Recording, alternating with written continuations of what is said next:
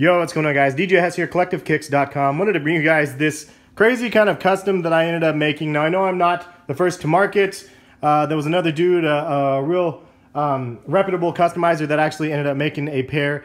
And um, I mean, I was trying to get the first one out there, but it is what it is. It's not like it's an original concept, but this is a boost a slide. And if you guys like this video, please show your support. Give the video a thumbs up. These did not come out perfect. There's no way that these came out perfect. Uh, and there was a lot of issues that I had. Boost is one of the like toughest materials to work with, in my opinion at least. And I'm not a customizer by trade. I just do it for fun. But you can see how rough the edges are. When you're like, and I was rushing to try to do this in the middle of like trying to put the baby down for a nap and him waking up and stuff. So not a great idea. You definitely need to give yourself time when you're working with the boost and you can't rip um, the stuff apart too quickly or it will rip and it makes it really different, difficult to uh, salvage. Um, but I ended up making this uh, custom, and I ended up using the Ultra Boost uh, insole as kind of the uh, the bottom of the shoe because, and the wife actually mentioned this before we even saw the images of the, what the guy created, and it was just the bottom was just too rough because you're coming up with this bottom because I'm going to use the Pure Boost 2s or the Pure Boost 1. It's the same um, midsoles but there's no um, there's no liner and it makes it really rough looking um, and not really as wearable. So these are 100% wearable for sure. They're not perfect. I had to cut the toe box area off a little bit because they're too long because the shoe it molds up and you can see it pulls the the uh, tip up which means that this is um, a little bit bigger than like my nine and a half.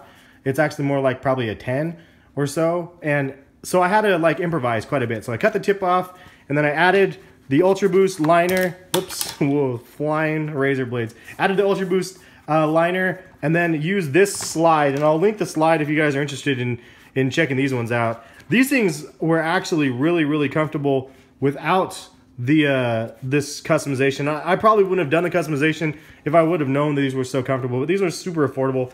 Um, I think like $30 or something like that. Um, and so I'm to go ahead and, and just show you guys the rest of the procedure to make this little Frankenstein thing happen. I don't, you know, it's just one of those things that the market definitely needs one of these slides. These boost slides would be amazing.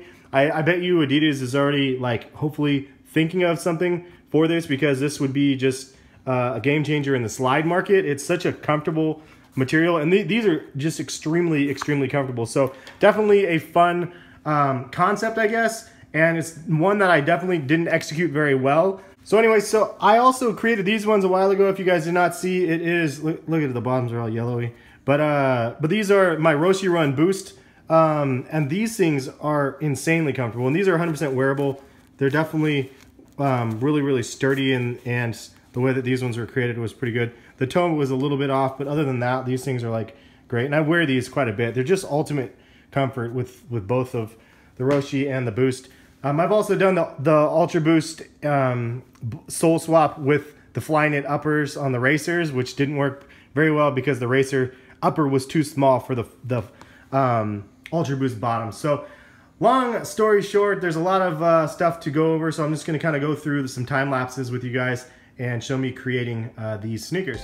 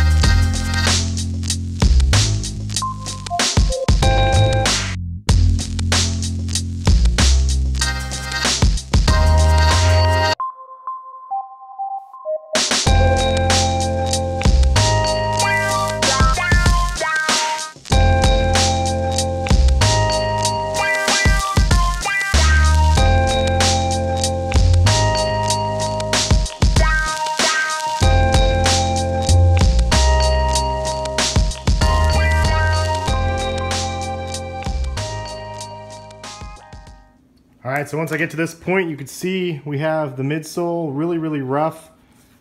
The toe box is a disaster. Parts of this is again really rough. And then we have the Ultra Boost um, thing down. I just wanted to make sure this is all the way back. So this is pretty much the shell. Um, and then we're gonna take this and then put a, the strap over top. Now, unfortunately, I warped this one, so it's a little bit rough comparison to the first one, but eh, it is what it is. It's hard to get all the, the crap off of it, but we're gonna put this one here on this side and then this one on this side, and it's going to form the uh, sandal.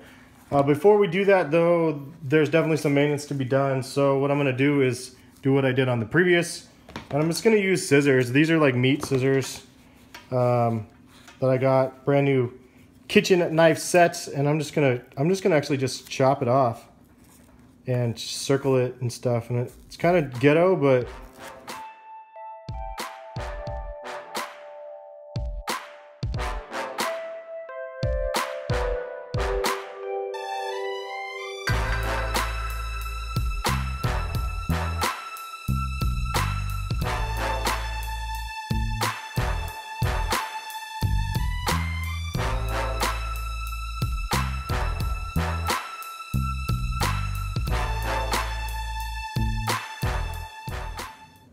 final thoughts on the custom. Definitely poorly executed. I would consider this a fail to some extent.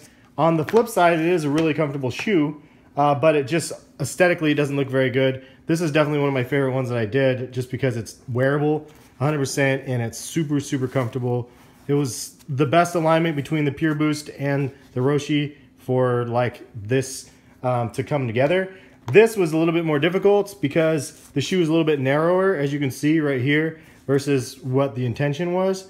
So as a result, this area right here, unless you have a thin, like skinny foot, this area is a little bit too narrow um, for my foot. So, you know, that being said, um, I think that they're comfortable. They're definitely really, really comfortable. They're not like perfect because of the, the midsole has issues, but this shoe um, base was definitely like a better choice than doing the Ultra Boost one because Ultra Boost just wouldn't have been able to happen. At least this one's fairly flat, and um, the only difference was the toe area, which I had to kind of hack.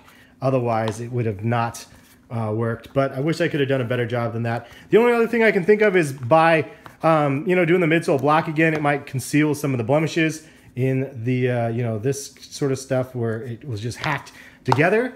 And uh, you know you win some, you lose some. I think this one was a loss, but you guys leave a comment. Let me know what you guys think. Um, and really, I think that this is just one of those ones that's really, really hard to pull off and make it look 100% factory uh, because we don't have the, the ability to make a tooling like this. If they would just be, be able to do this with Ultra Boost material and then not, not even the bottom part, just use the bottom parts like this, we would have a huge win. Um, so I think that this was one of those things where hopefully in like six months, a year from now, this will be just a stupid video because people are gonna be like, they do make, they do make uh, Adidas Boost slides. Um, but as of the point of this video, that I mean, it was just conceptual of why I wanted to try to hack job it, and that's what I did. Hopefully you guys liked it. If you did, give the video a thumbs up, show your support. Even if it is not a perfect rendition of the model, um, the thought was there. We'll catch you guys for some more videos soon.